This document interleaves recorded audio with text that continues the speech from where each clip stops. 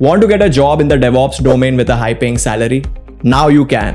Become a certified DevOps engineer by joining the DevOps certification training course from Edureka. Why DevOps? Well, an average DevOps engineer earns up to 8 lakh rupees per year in India and up to $120,000 in the United States. But the maximum salary, it is up to 30 lakh rupees per year in India and up to $200,000 in the United States. Not only that, at least for the next five years, research has shown that DevOps will be the main hiring criteria for 46% of the IT companies. And top companies such as Google, Netflix, Amazon, and others use DevOps and are looking for professionals with the right DevOps skill set.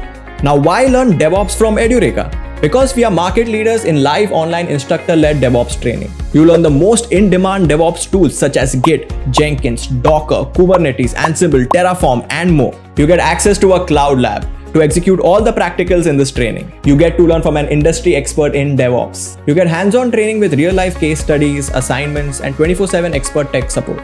You can join the weekend or the weekday batch based on your comfort because our batches are flexible. And most importantly, after this course, you become an Edureka certified DevOps engineer. So top tech companies can hire you easily. But that's not it. The best part is you can learn all of this while doing your current job at the same time. So join Edureka's DevOps certification training course and become a certified DevOps engineer. Hurry up and enroll now. The next batch starts soon.